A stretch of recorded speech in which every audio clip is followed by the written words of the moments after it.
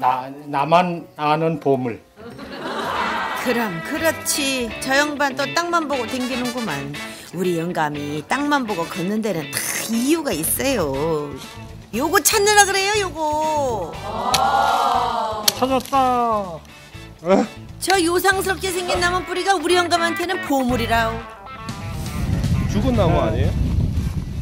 죽고 오래됐지만은 이것을 내가 손질을 하고 다듬으면은 생나무 못지않게 생생하게 살아나고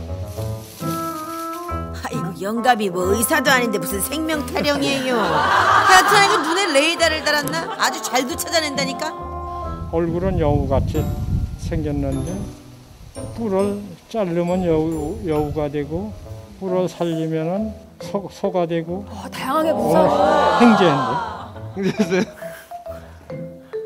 남들은 돈 줘도 안 가져갈 썩은 나무 뿌리를 저렇게 신나서 들고 오는데 누가 좋아하겠어? 자고로 식물이라면 뭐여? 어? 키우는 재미가 쏠쏠해야 되는 거 아니냐는 거지 내 말은.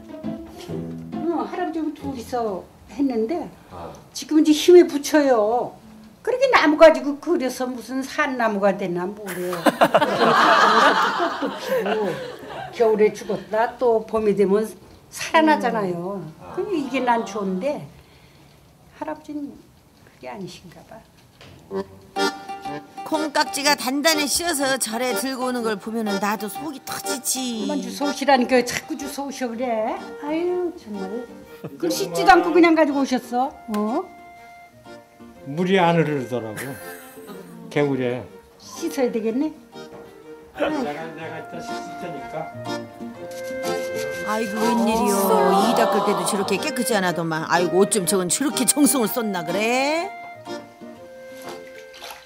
젊어서 애들 기를 때 좀 그렇게 씻겨주고 좀 다듬고 그랬으면 얼마나 좋았을까. 어? 지금 내가 씻겨줄게 많이 들으셨네. 어? 망령 들리셨대. 많이 들으셔. 어?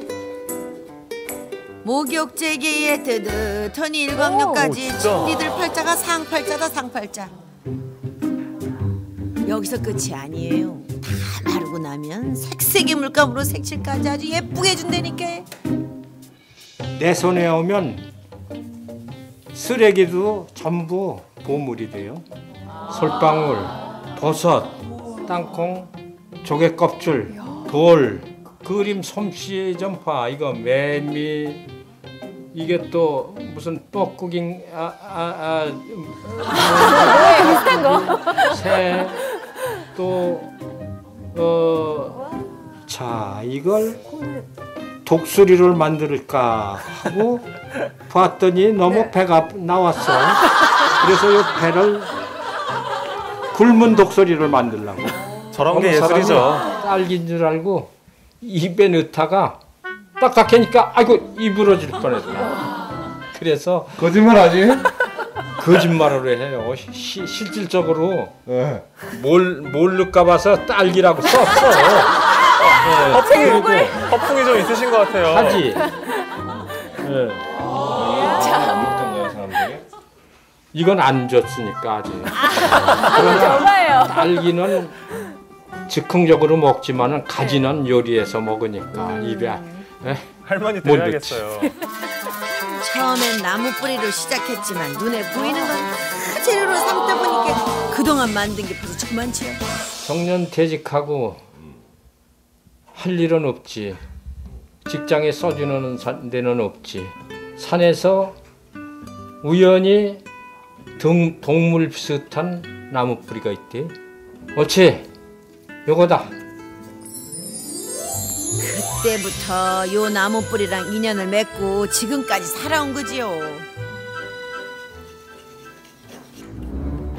아이 근데 저건 또 뭐야?